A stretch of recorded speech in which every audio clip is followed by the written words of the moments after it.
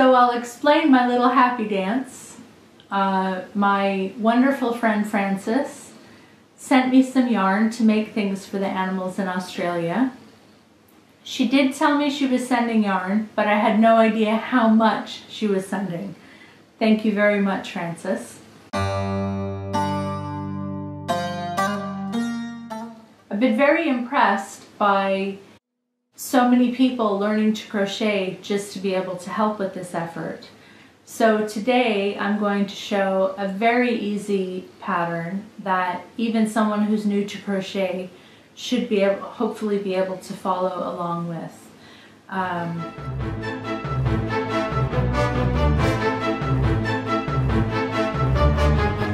my last video was on how to crochet the nests.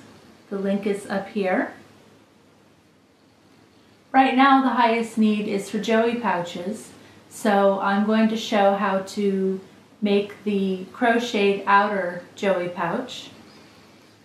I'll put links to a couple of Facebook groups in the description where you can find a lot more information. You can find all the patterns for the various different items that are needed.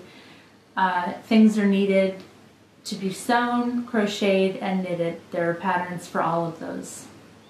So let's get started on the joey pouch. So a chain stitch is the first stitch that you'll use in most projects unless you're working in the round. So you take your yarn, hold it around those two fingers, wrap it around, bring it to the top, stick the hook through, through that first strand and pull the second strand through and then pull on both ends of the yarn. And then if you pull the tail, the hole gets bigger. If you pull the working yarn, the loop on the hook gets smaller. So you don't want to have it too tight when you first start. About like that. About like that is good. And to hold the working yarn, you wrap it around your ring finger and then up over your pointer finger. I'll do that again. Wrap around your ring finger and up over your pointer finger. And to do a chain stitch, you yarn over and pull through the loop.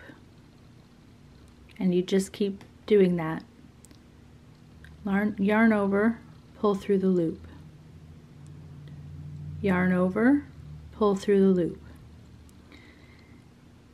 Usually if you're using a pattern it will tell you how many chain stitches to do or if you're just doing it without a pattern just chain stitch it to the approximate length that you want. If you're going to be doing single crochets make it a little bit shorter than you want. So I'll show that again. Yarn over, pull through the loop.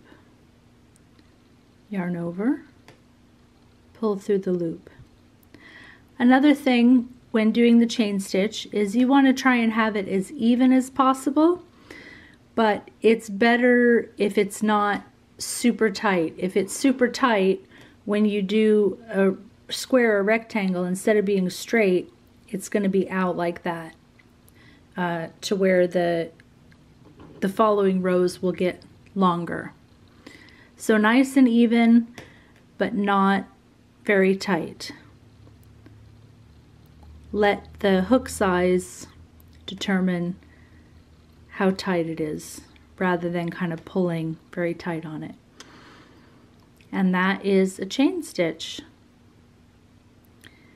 So for the pattern that I'm following for the Joey pouch, it needs to be 12 inches wide.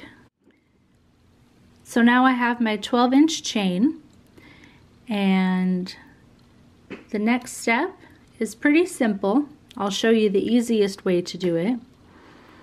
So you see how this is this here is the last chain right before my hook.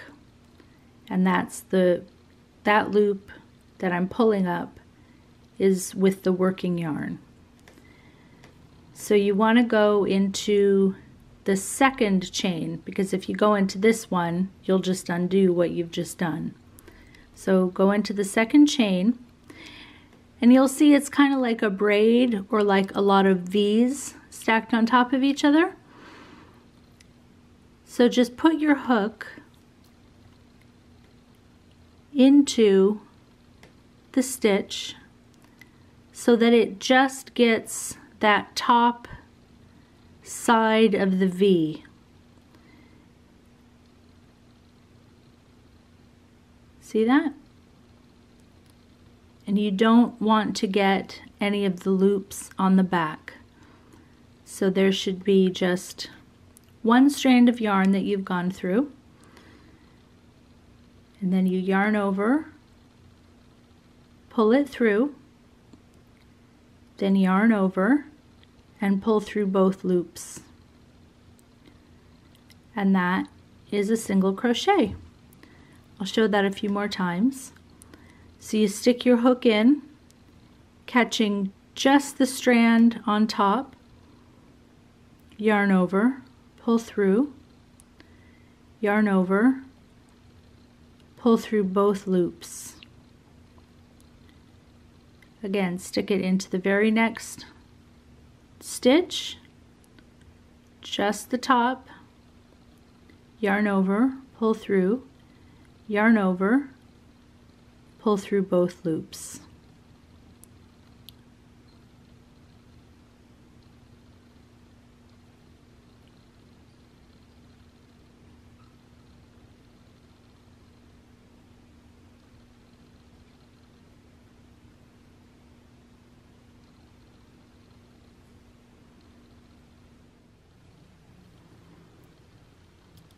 So you finish the row with a chain stitch and then turn your work.